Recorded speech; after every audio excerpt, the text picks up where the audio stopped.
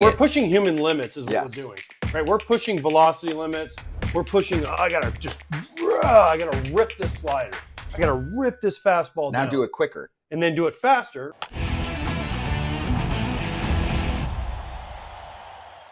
Injuries suck is going to lead off the show. There were some fans in the chat asking about injuries suck, and I said yes. In fact, that will lead off the show. Charge the Mound has taken a back seat because the injury epidemic continues in Major League Baseball. Just this weekend alone, we have Shane Bieber undergoing season-ending Tommy John surgery, which sucks. He is a free agent after this hmm. season. We'll get into the team impact for all of these injuries as well.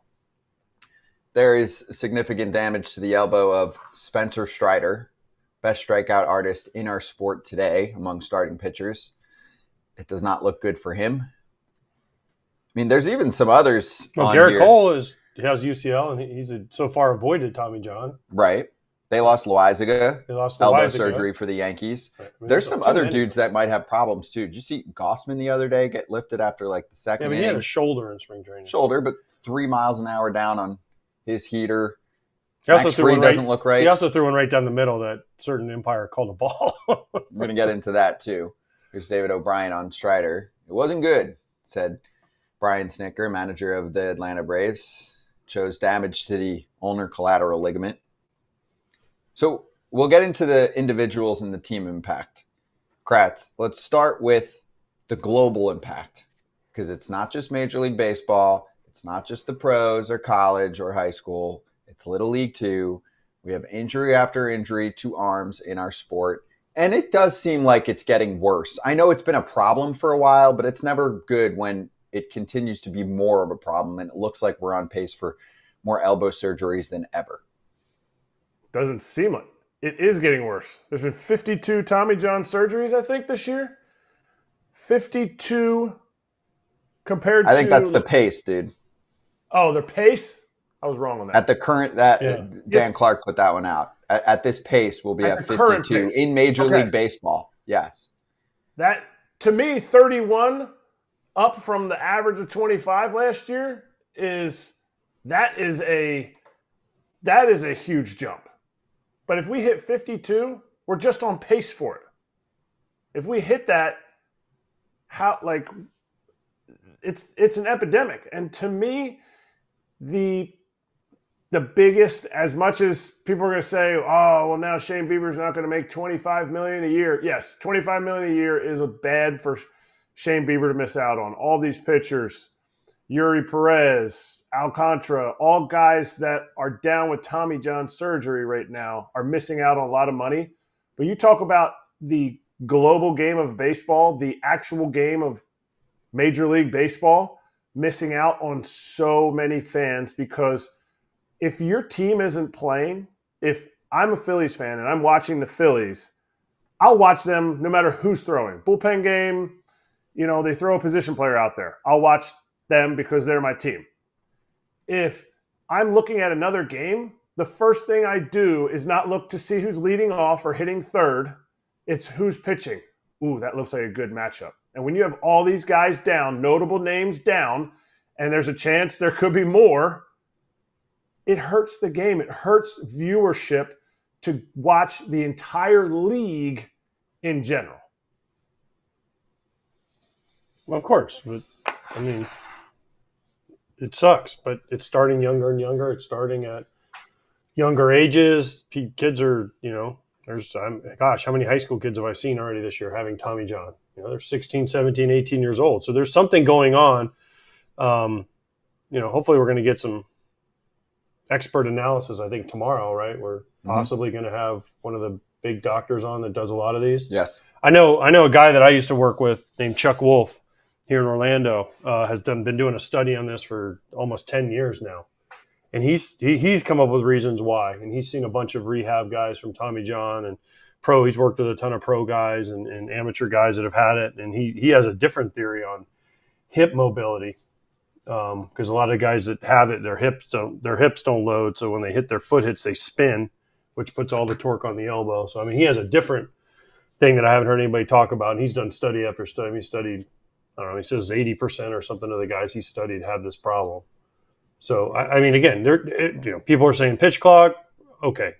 People are saying velocity. Okay. People are saying weighted balls. People are saying this. People are saying that. Like nobody really, problem is nobody knows. It's not going to end until we try to figure out a reason to do it. And, and it starts for me at the younger ages. You got to figure out a way. Is it, do we go back to start? I mean, if you saw Justin Verlander's comments, starters have to go deeper in games. They don't go all out on every pitch. You know, and I mean, I know that's the way that pitching coaches and organizations want you to do it, but do we go back to again? We've I've talked about this where you make your starters learn how to get through the third time through and not give everything they have on every single pitch. I don't know what the answers are, but someone's got to figure something out because this is this is crazy. There's too many guys going down you know, too many guys are on their second Tommy John. Too many guys are having their first, and it's big name guys. That's the thing. It's not like I mean, not that anyone in the major leagues isn't isn't the guy, but these are like the stars that are going down. What's the common What's the common thread? Is my like I agree. You know, maybe there's hip mobility issues. Maybe you know shoulder range of motion, IR range of motion, all that stuff. But what's the common thread? Because somebody, nobody had hip mobility back in the 80s, and there wasn't as many Tommy John surgeries. Was there as many UCL tears back then, and we just didn't know about it? I played, I'm assuming I played three quarters of my career with an 80% torn UCL. Last time my elbow ever hurt was 2005. In 2017, I got an MRI all my own because I couldn't straighten my arm or bend my arm or, yeah, bend my arm completely and they went in there, found bone chips in there. And they also said when they went in to get the bone chips, they go, Is your elbow ever hurt you? I was like, Never. It never hurts. I woke up that morning and it didn't bend or straighten out. I said, and he said, Oh, because you have an 80% torn UCL. Like it's almost all the way gone. So when that happened, I don't know. You see the fighting? What fighting? MLB versus MLBPA. Oh yeah, well that, that listen, it's all about negotiations. I mean, over injuries, like can, can can I kindly say stop enough?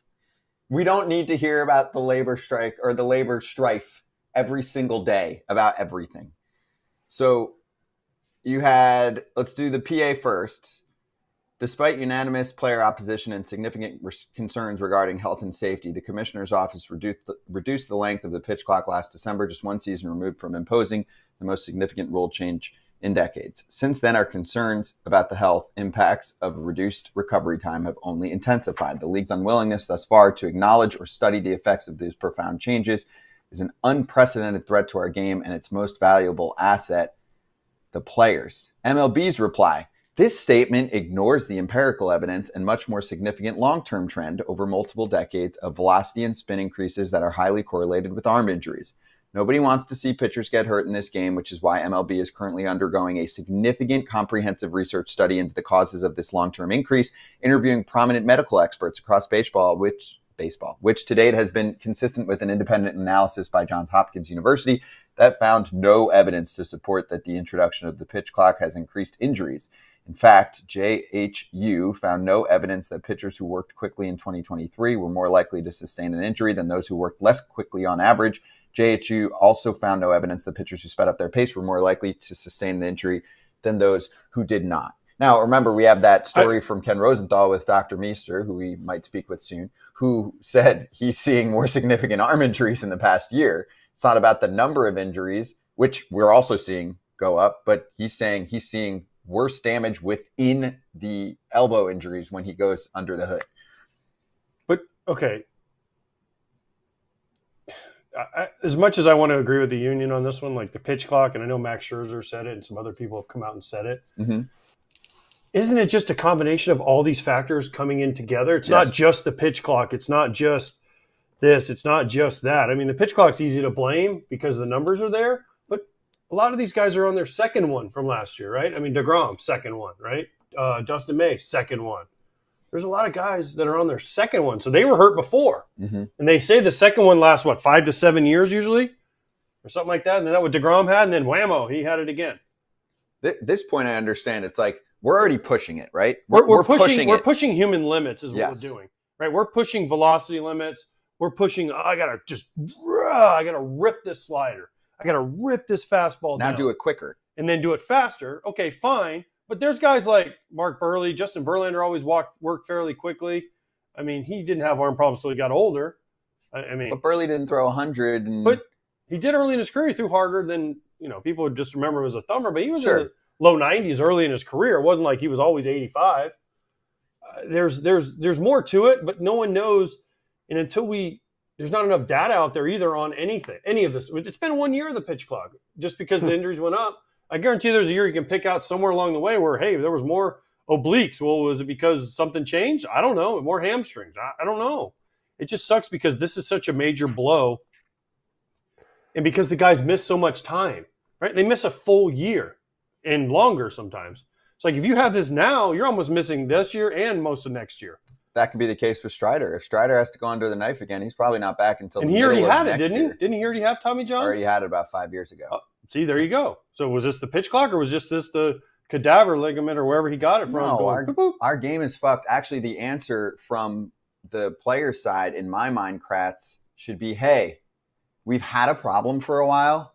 It's getting worse, and teams don't care because they value velocity when they're scouting, they value pitch shape when they're scouting, they value changing you when they acquire you if need be. The Red Sox are a good example right now. They're pitching well in the first week or so, better than some expected. They're throwing like way more secondary pitches. Like they're they're changing the arsenal from some of these guys, which also could be a little bit of smoke and mirrors. But point is, a guy comes over and they're like, "Oh, we love your slider. Let's throw it eighty percent of the time." Or, "Hey, let's try and get a few more ticks of velocity on you." What which you know, AJ alluded to the other day. Let's let's chuck that weighted ball all day long. All of that shit probably is not good for you. and what players are standing up and being like, you know what? I know you brought you guys have really, really helped a lot of pitchers. In my situation, I had a five ERA last year. I know you guys brought me over to do better. I'm not gonna listen. I want to stay healthy. Nobody's nobody's lining up to say that.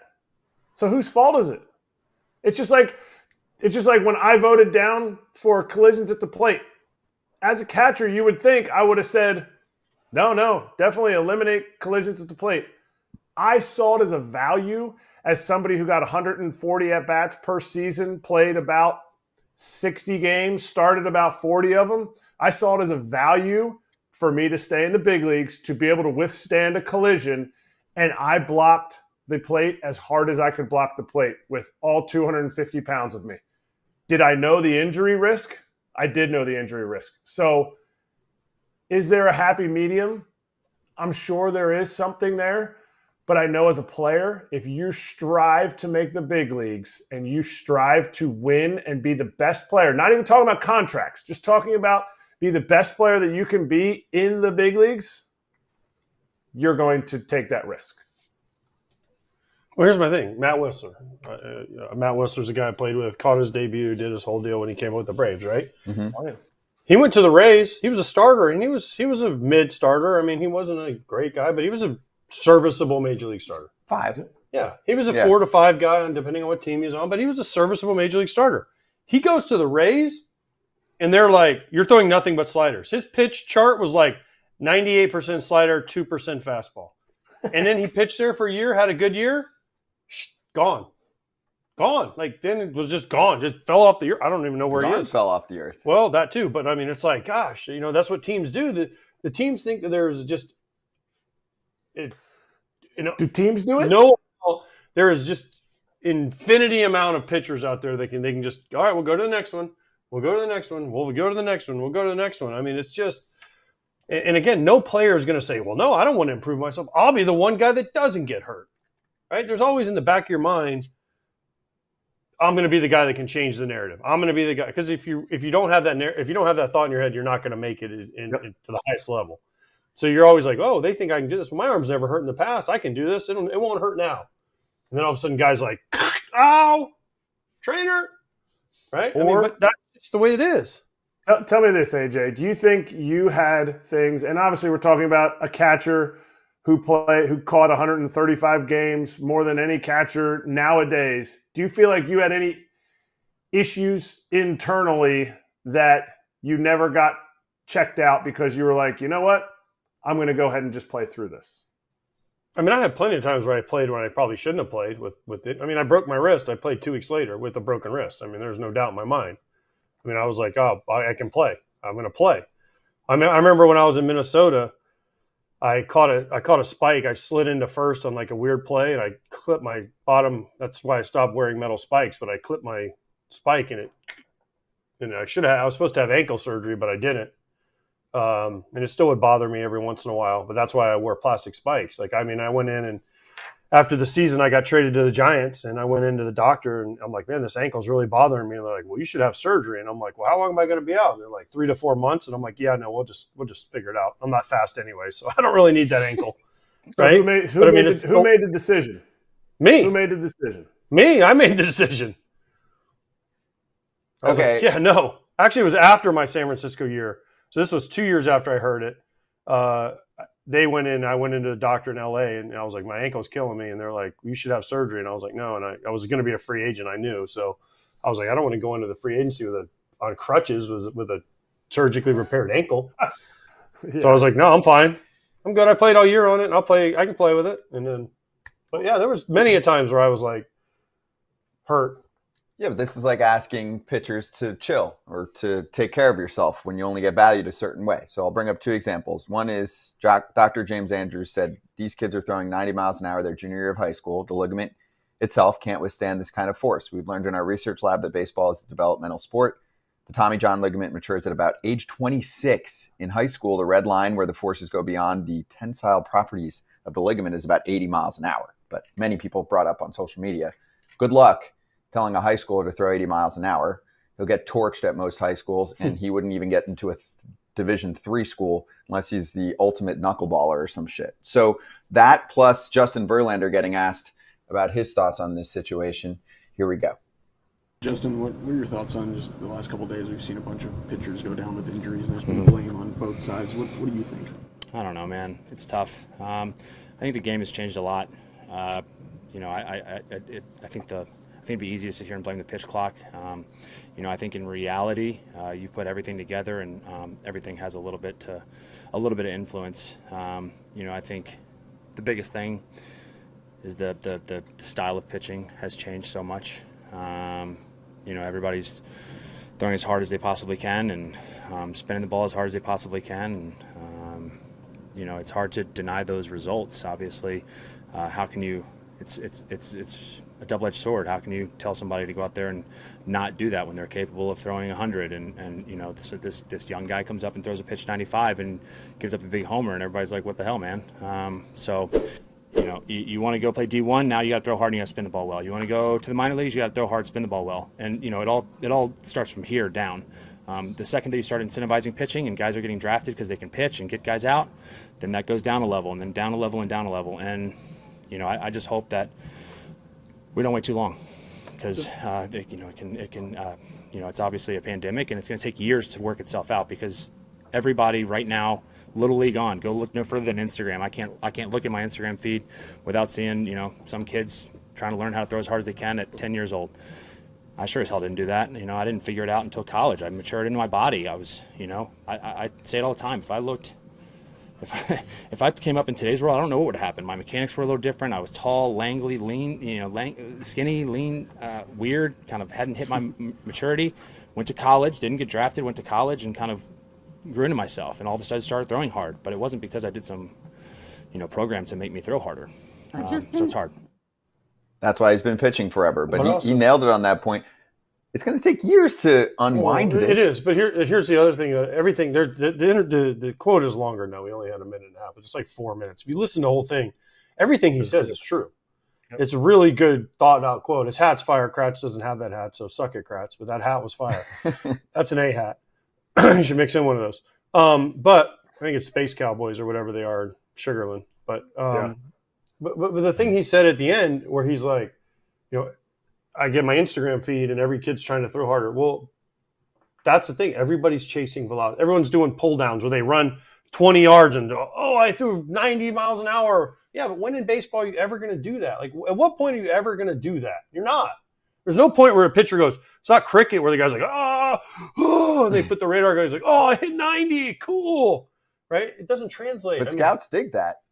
I understand that, but here's the thing, like, like you know, and I know Mark, our producer, is like, growing up, we didn't throw as hard, and Verlander said that, like, you didn't go max effort. You were like, all right, how can I, if I can throw 85 miles an hour and control it, or I can throw 90 and go shoo, shoo, shoo, shoo, shoo, shoo, all over the place. Now that scouts would rather see you throw 90 and throw eight balls. Hey, hit 90, I can I can put him in there rather than the guy that can go 85 and can go shoo, shoo. Plus, kids, you know, weren't throwing curveballs till later because we were told not to do it.